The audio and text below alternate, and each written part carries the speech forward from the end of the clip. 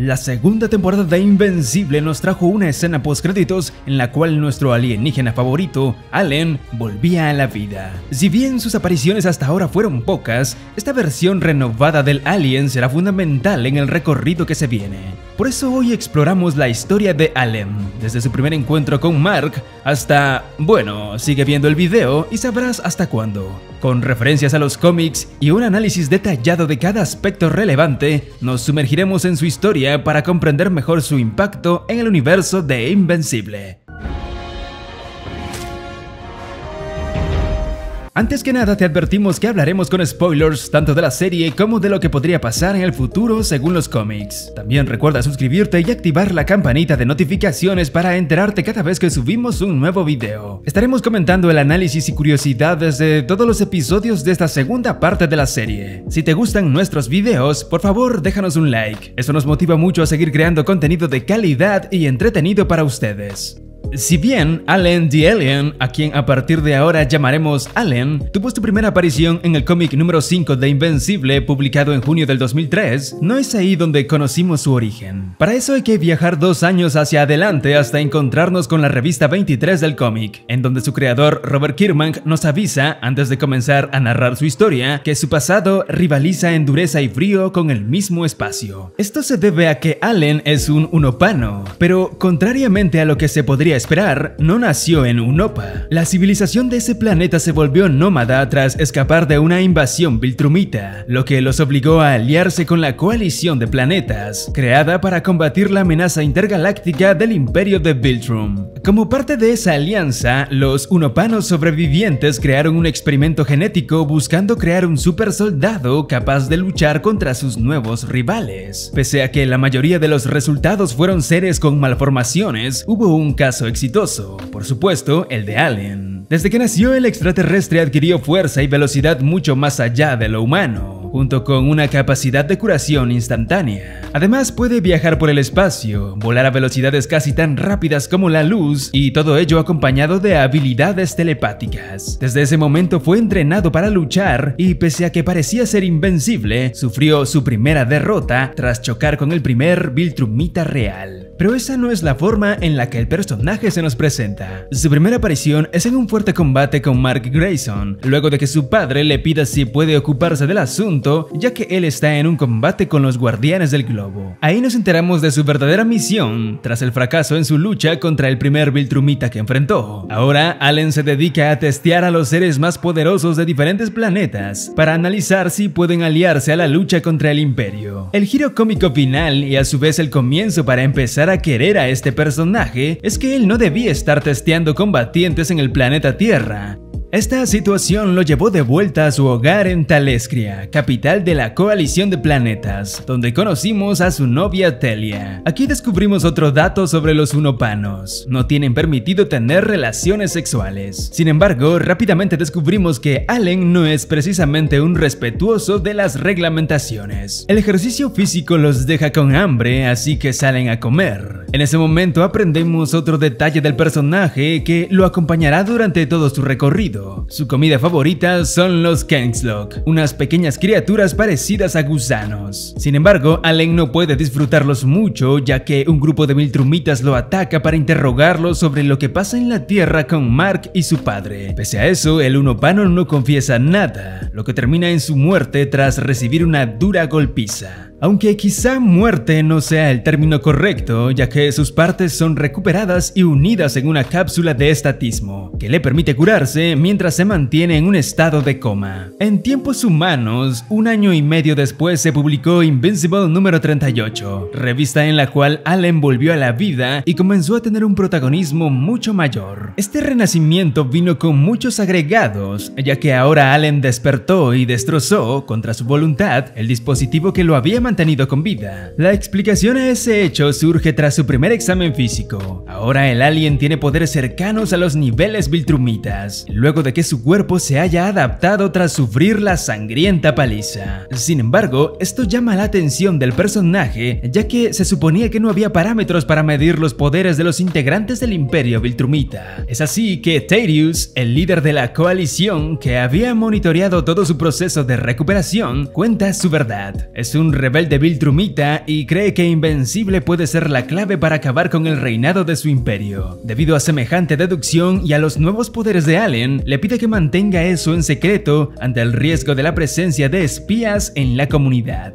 Allen debe viajar a la Tierra a informarle a Mark todo lo ocurrido, pero no sin antes tener un malentendido que termina en pelea con Inmortal. Finalmente ambos personajes se encuentran en la habitación de Grayson en la universidad, donde Allen intenta convencerlo de sumarse a la coalición, pero el joven lo rechaza. Pese a eso, la conversación continúa e Invencible le informa al alien sobre su hermano pequeño, sobre que su padre fue capturado por los Viltrumitas y sobre que ha descubierto que las novelas de ciencia ficción de su padre pueden ser la clave para derrotar al imperio. Este último dato llama la atención de Allen, quien escanea cada uno de los textos y regresa a Talescria. Pero en el camino, el alien se cruza con una nave Viltrumita y comienza una pelea con Anissa. Durante el combate, la Viltrumita se sorprende por la fuerza de Allen y le indica que lo llevará a una prisión de máxima seguridad. En ese momento, el Uno Pano recuerda que el padre de Mark también estaba encerrado por los Viltrumitas, por lo que decide entregarse. Su plan sale a la perfección, ya que al instante de llegar a la prisión, Allen y Nolan se cruzan y se reconocen. Sin embargo, ambos permanecen presos durante varios meses en celdas separadas. Mientras varios intentos por ejecutar al Uno Pano fracasan, él y Omniman se comunican por telepatía. En un inicio, Allen solo le cuenta a Nolan sobre su misión, pero con el correr del tiempo empiezan a revelarse su historia hasta convertirse en amigos. E incluso las historias de Allen con Telia hacen que el padre de Mark vuelva a querer ver a su familia. De esta manera, cuando llega el día de la ejecución de Nolan, Allen pone en marcha su plan y consigue liberarlo de la prisión junto a todos los otros reclusos, entre los que se encontraba el feroz Battle Beast, un personaje con una tremenda sed de sangre que ya vimos en la serie, fue el que derrotó a Invencible en la primera temporada. Tras escapar, Omniman revela una verdad muy trascendente para el futuro. Solo hay 50 Viltrumitas puros en todo el mundo, lo que le da a la coalición la verdadera oportunidad de triunfar. Por eso, ambos le llevan la información a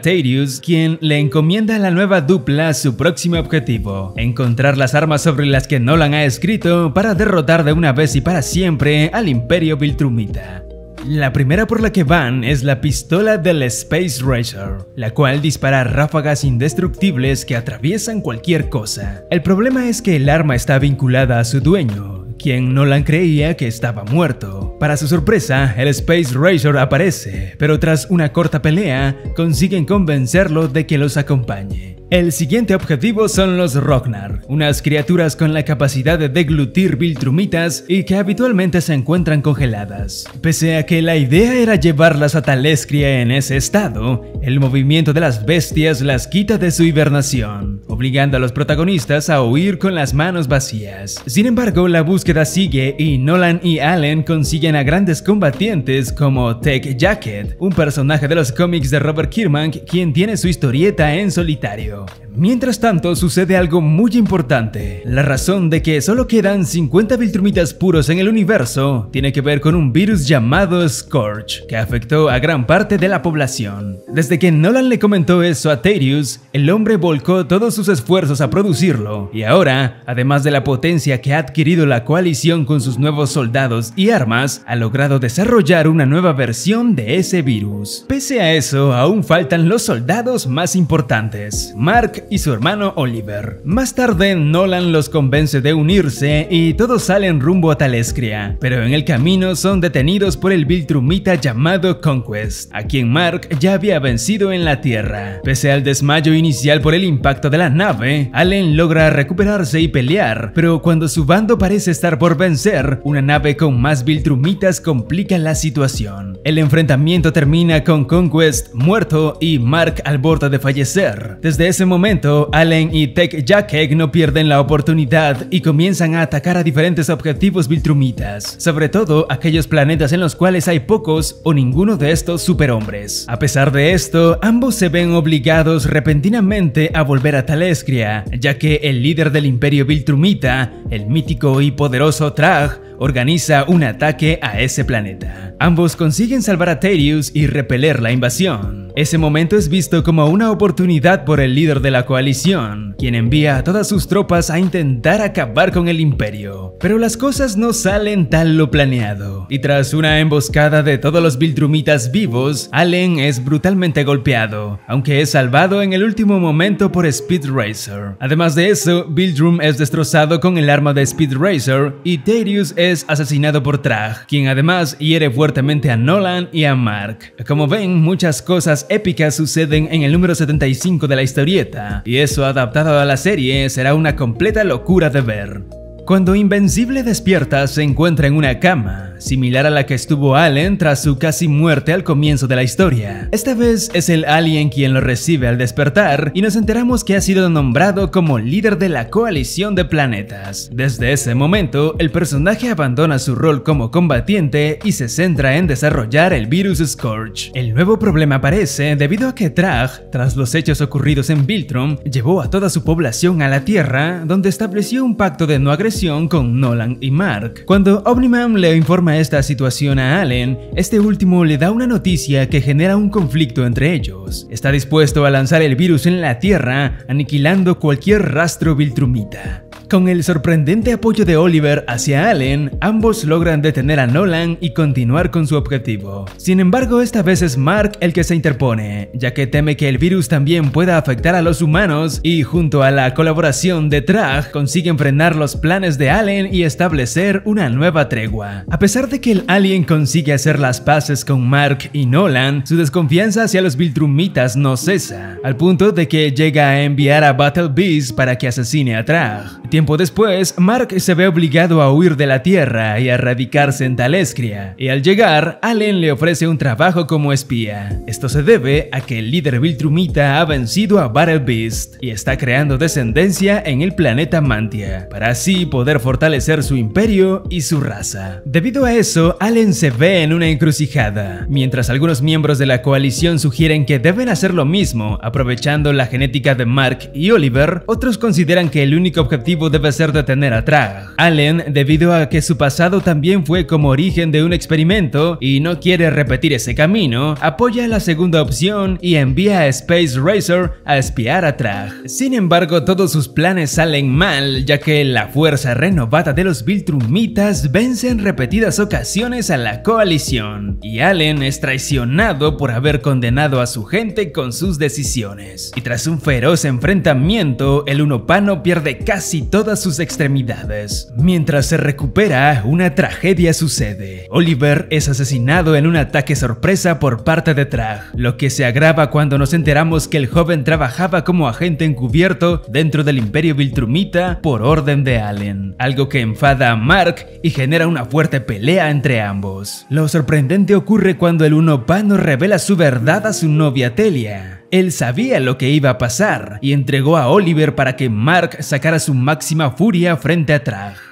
Finalmente, ambos consiguen hablar, y pese a las agresiones iniciales, Mark acepta que las acciones de Allen estaban justificadas ya que puso al bien común por sobre sus afectos más cercanos. Esto abre las puertas para la batalla final, en la cual Allen, Mark, Atom Eve, Space Racer, Nolan y una gran tropa salen en busca de Trag. Las tropas de ambos bandos pelean sin ningún tipo de piedad, pero todo cambia cuando Trag casi asesina a Nolan. Cuando Allen lo nota, no puede evitar que algunas lágrimas se escapen de sus ojos, algo que es visto por Ursal, la general, la segunda al mando del bando enemigo y una de las muchas hijas de Trag. Ella nota la cantidad de muertes que se están generando y ordena detener el combate ya que entiende que es tan solo una venganza por parte de su padre. Pero como no podía ser de otra manera, la batalla final entre Trag y Mark no termina. Ambos combaten sin ningún tipo de piedad en la superficie del sol. Invencible logra vencer, pero se encuentra al borde de la muerte por las quemaduras cuando al último momento Allen Aparece y lo rescata. Finalmente el joven se recupera y escucha las últimas palabras de su padre, donde le indica que debe convertirse en el líder Viltrumita ya que podrá conseguir grandes cosas. Mientras tanto, Allen consigue empatizar con Ursal y ambos deciden separar sus diferencias e intentar construir una nueva paz. Sin embargo, tras todo lo sucedido, Mark y Allen entienden que el sacrificio de Oliver fue tan grande que su vínculo nunca volverá a ser el mismo. Desde ese momento, cada uno sigue su camino liderando a su gente. En el número 144 de Invencible, el último de todo el cómic, ambos se vuelven a encontrar muchos años después. Allen le explica a Mark que con todo lo que ha avanzado para conseguir la paz en el universo, la coalición ya no es necesaria y muchos se están yendo de ella. Esto no le gusta a Allen y acaba en una breve pelea en la que una vez más Mark resulta vencedor. Tras eso, el Unopano acepta que ahora Invencible cambiará todo y mejorará el mundo como nunca lo hizo nadie, y asume que quizás sea mejor un sistema galáctico sin la coalición de planetas. A eso, Mark responde que este corto conflicto se hubiera solucionado más fácilmente si lo hubieran hablado antes. De esta manera recordamos el primer encuentro entre ambos, en el que pasó lo mismo. Tuvieron una feroz pelea simplemente por no haber entendido qué estaba haciendo cada uno. Desde ese momento, Allen fue